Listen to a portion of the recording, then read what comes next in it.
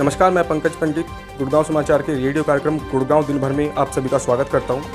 आज तारीख है 20 मई और दिन है गुरुवार, पेश है आज की खास खबरें।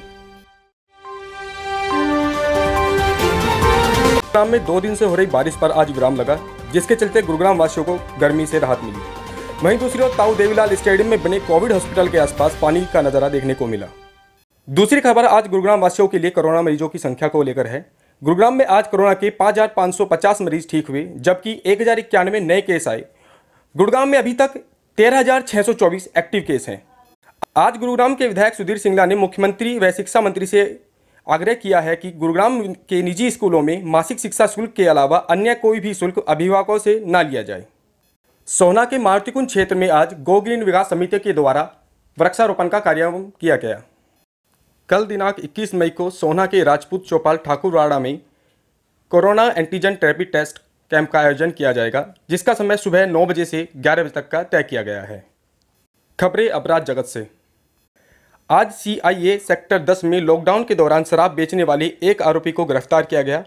वहीं सीआईए सेक्टर 40 में एक आरोपी को 10 किलो गांजा के साथ पकड़ा गया। अब खबरें विस्तार से।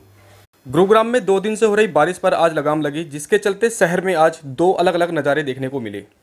जहाँ एक और शहर के कई स्थानों पर बिजली गुल रही, वहीं दूसरी ओर गुरुग्राम के ताऊ देवीलाल स्टेडियम में बने कोविड हॉस्पिटल के आसपास के इलाकों में पानी भर गया। अस्पताल का नज़ारा पूरे दिन सोशल मीडिया पर छाया रहा। इसके बाद नगर निगम की टीम स्टेडियम पहुँची, जहाँ पर मोटर की मदद से बरसात के पानी को बाहर निकाला गया। हम आपको बता दें ये अस्पताल वही अस्पताल है, जिसका हाल ही में हरियाणा के मुख्यमंत्री मनोहर लाल खट्टर ने उद्घाटन किया था। खबर गुरुग्राम वासियों के लिए कोरोना मरीजों की रिकवरी को लेकर आई है। में कोरोना मरीजों के ठीक होने की गति में काफ़ी तेज़ी आई है जिसके चलते गुरुग्राम में आज 5,550 मरीज़ ठीक हुए। वहीं दूसरी ओर एक नए मामले सामने आए। साथ ही आठ लोगों के मौत की खबर भी आई। हम आपको बता दें गुरुग्राम में अभी भी एक्टिव केसों की संख्या 13,624 है। वहीं उनमें से गुरुग्राम में अभी तक 11,338 वो मरीज़ हैं जो घरों में आइसोलेशन हो रखे हैं। गुरुग्राम में आज बड़ी खबर शिक्षा जगत से जुड़ी हुई है। जहाँ पर आज गुरुग्राम के विधायक सुधीर सिंगला ने हरियाणा के मुख्यमंत्री मनोहर लाल खट्टर व हरियाणा के शिक्षा मंत्री से आग्रह किया है कि कोरोना महामारी के समय में निजी स्कूलों द्वारा लिए जाने वाला मासिक शुल्क के अलावा अन्य किसी भी प्रकार का शुल्क अभिभावकों से न लिया जाए। विधायक सुधीर सिंगला ने यह भी कहा कि वह स्कूलों के खिलाफ नहीं है। वह चाहते हैं कि कोरोना महामारी के समय में किसी को भी किसी प्रकार की परेशानी ना हो। हर किसी की आर्थिक स्थिति ठीक रहे, इसलिए अभिभावकों पर ज़्यादा बोझ न बने, इसलिए शुल्क के नियमों में बदलाव किया जाए। सोना विधानसभा क्षेत्र के मारुतिकुंज इलाके में आज गोग्रीन विकास समिति के द्वारा मारुतिकुंज, भौंसी नया गाँव रिठौज, वाटियाकुंज व अन्य कालियों में करीबन 500 पौधों का वृक्षारोपण किया गया। खबरें अपराध जगत से।